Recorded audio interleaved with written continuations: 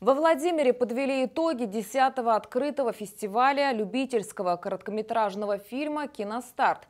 В этом году в конкурсе приняли участие режиссеры из 19 регионов России. Всего было прислано на суд жюри 95 работ. Фильм «Живая лоза России» Вариш телеканала «Видное ТВ» получил высшую оценку жюри и стал победителем в номинации «Короткометражный документальный фильм».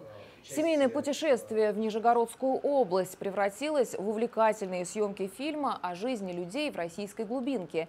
Интересные истории, рассказанные жителями села Вариш, были сняты на мобильные телефоны. Ну, представьте песочницу, да? Песка много, и в принципе, каждая песчинка, кажется, ничего не стоит. Можно так сказать, наверное, про любую деревню, про любой город, но это не так, потому что как раз из таких песчинок, городов, деревень, людей, которые в них живут, и состоит наша Россия. Большинство участников фестиваля – любители, но, по мнению жюри, уровень растет, чему способствуют мастер-классы опытных в кинопроизводстве людей, а также самообразование.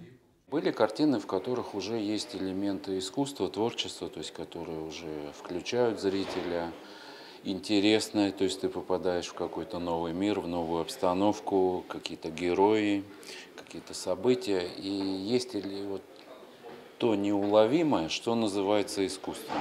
На подведение итогов фестиваля, к сожалению, многие не смогли приехать, поэтому смотрели церемонию в прямом эфире – Организаторы учреждения «Киноцентр» при поддержке Министерства культуры Владимирской области готов и в будущем продолжать проведение фестиваля.